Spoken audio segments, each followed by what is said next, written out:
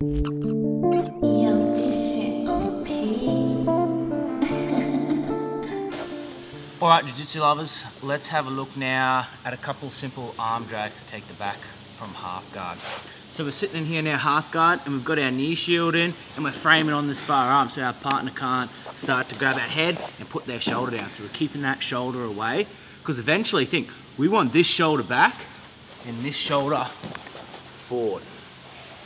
So if I'm not keeping this shoulder away and this shoulder super low, think how much further I've got to get around to get behind this arm all the way over their back. So we've got our knee shield in, shoulder control. Now, first I've got to break my partner's grip, unless if it was just lazy and I could sneaky put it in front of me.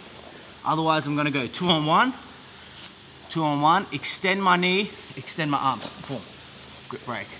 Now I'm gonna swap it to my opposite arm, sleeve grip, move out of the road, put their arm on the ground, and I'm gonna pin their arm with my weight as I get up so they can't pull it out.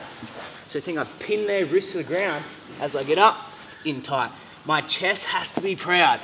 My chest is loose, this is how your partner will get that elbow back. Chest proud, so look, when they pull their arm, now, up, over the top, back take. Or the other version, which just looks really similar, is just using our different arms. So we can grip break. This time we're gonna keep this same grip, grab the tricep with this arm.